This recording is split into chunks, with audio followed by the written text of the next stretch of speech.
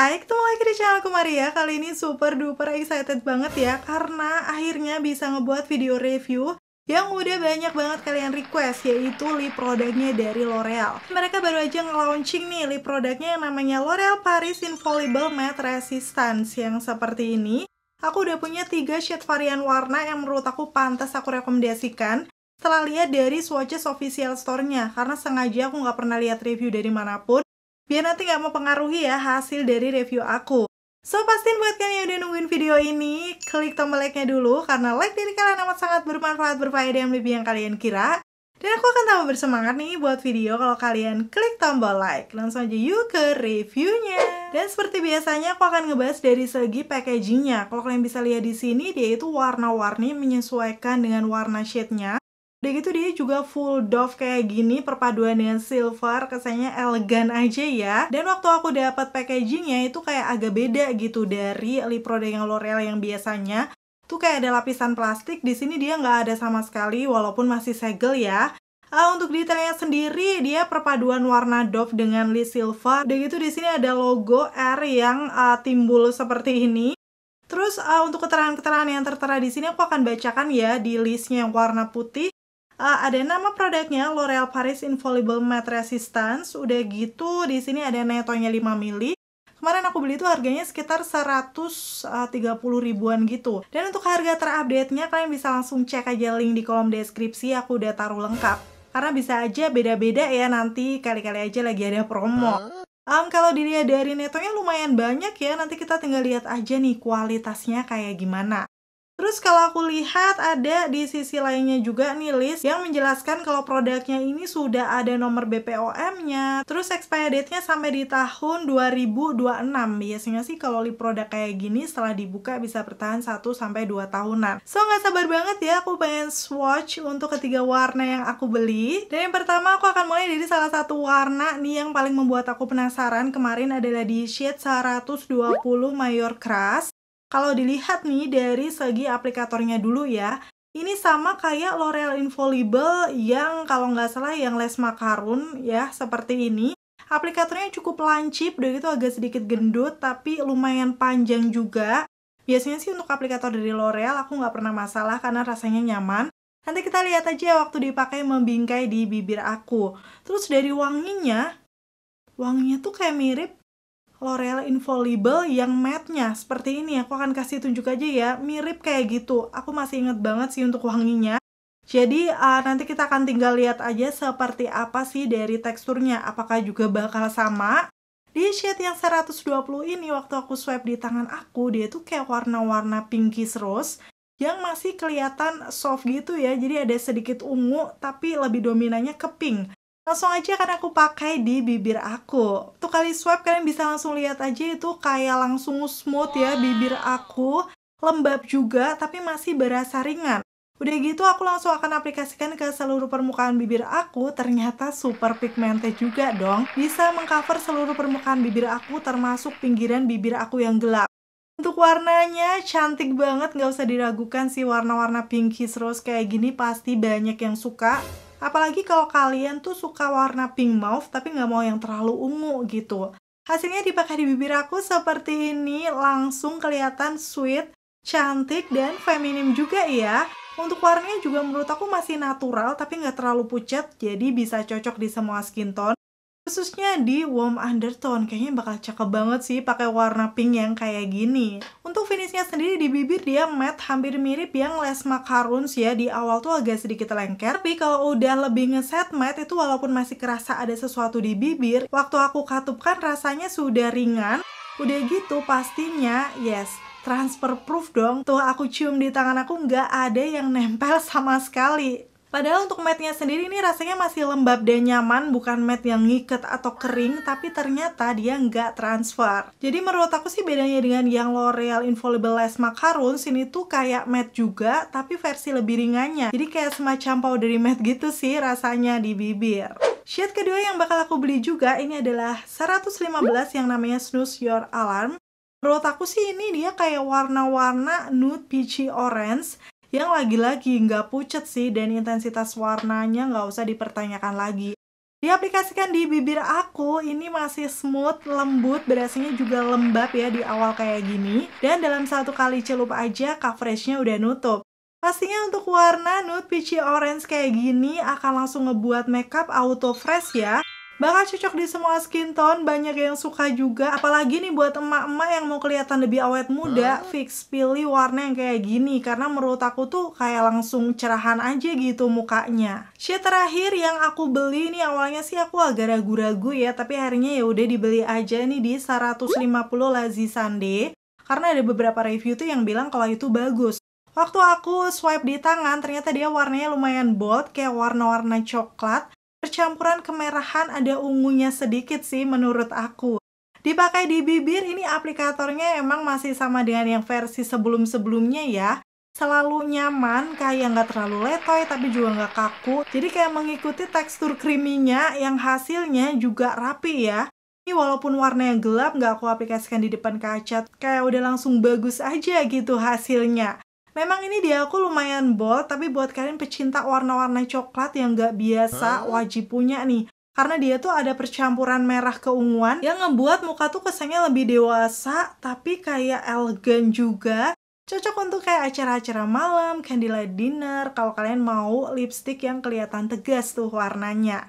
Dipakai di skin tone aku yang warm juga ini nggak membuat kusam sih menurut aku, mungkin karena ada percampuran merah keunguan. Jadi masih bisa dipakai juga di semua skin tone. Ngelihat warna yang lumayan gelap kayak gini, langsung kepikiran buat ombre kayak gimana ya. Sekalian kita cobain teksturnya. Untuk base-nya aku akan pakai yang 120 Mayor Crush. Karena dia memang kayak warna-warna nude pinkish rose yang cantik ya untuk base ombre. Selanjutnya di bagian tengahnya pastinya diaplikasikan 150 yang Lazy Sunday ini. Uh, karena memang tekstur awalnya agak lengket, jadi aku uh, ratakannya tuh menggunakan brush pipi seperti ini biar hasilnya nanti lebih cakep dan gak ngotorin tangan juga. Wow, ternyata untuk perpaduan ombrenya jadi cakep banget perpaduan warna pink dengan uh, kayak semacam red wine gitu. Setelah dipadukan di dalamnya tuh kayak merah agak keunguan. Super cantik banget ya.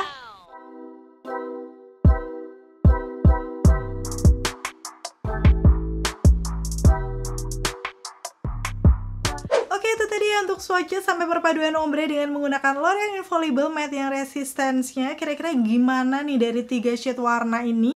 Ada nggak warna yang cerahan kalian? Coba komen-komen. Kalau aku sendiri sih paling suka pastinya adalah 120 yang Mayor Crush ini. Karena menurut aku tuh pinknya super perfect banget dipakai sendiri ataupun dipakai ombre. Dengan si 150 itu juga hasilnya cantik banget kalau dari tadi kalian salvok sama yang aku pakai itu perpaduan 120 dan 150 ya. Untuk shade yang 115 aku masih bisa pakai, tapi buat aku sih kurang nude ya, kayak terlalu orange. Jadi mungkin buat kalian pecinta warna-warna orange yang masih soft, akan suka sih sama yang 115 ini. Dan sekarang aku akan kasih kesimpulannya ya, sejauh ini aku menggunakan lip produknya L'Oreal karena memang di sini dia tidak menjelaskan krem apa pun. Aku akan sedikit lihat ini dari official store di Shopee ya. Di sini dia menyebutkan uh, untuk uh, L'Oreal Paris Infallible Matte Resistant ini adalah lipstick yang digunakan oleh Kendall Jenner ya, baru tahu ya. So memang ini tuh cocok kayak untuk bibir-bibir yang uh, sensual kayak gitu pakai yang jenis powdery matte kayak gini tuh kerasnya memang jadi cakep banget. Karena hasilnya juga smooth dan bisa ngeblurin garis-garis bibir. Pantes nih Mbak Kendall juga suka. Udah gitu sekarang yang kedua dia menyebutkan tidak transfer dan tahan lama hingga 16 jam dengan hasil yang nyaman. Kalau tidak transfernya memang betul tadi aku udah cium di tangan aku dia nggak nempel sama sekali.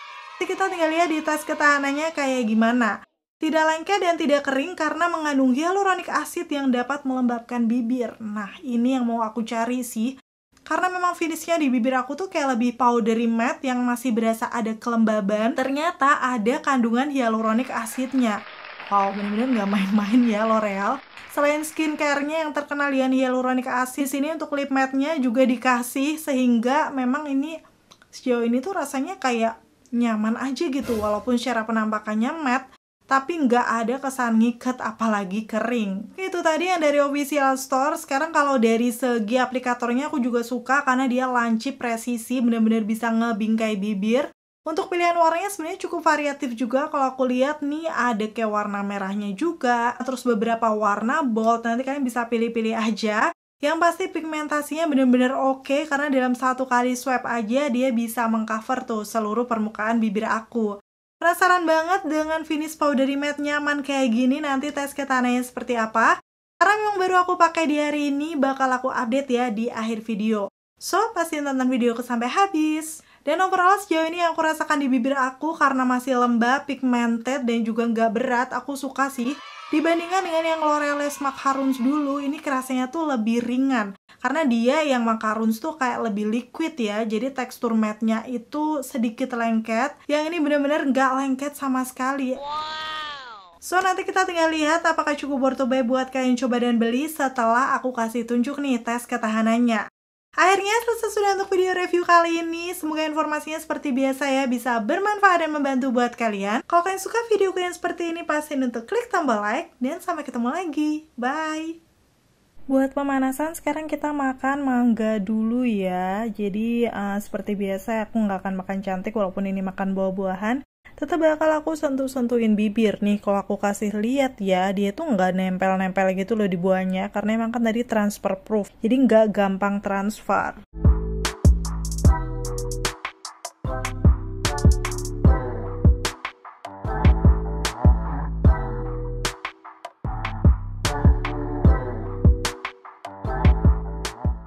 Siapa nih yang suka kayak gini juga? Oke, aku bakal update kayak gini hasilnya setelah selesai makan di zoom aja di bagian bibir aku.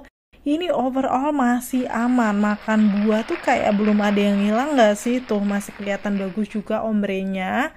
Dan uh, finish powdery juga kelihatan smooth di bibir. Lanjut sekarang aku akan makan makanan berminyak. Ini makan mie sama lauknya sate daging. Ya udah nanti aku bakal update lagi hasilnya kayak gimana.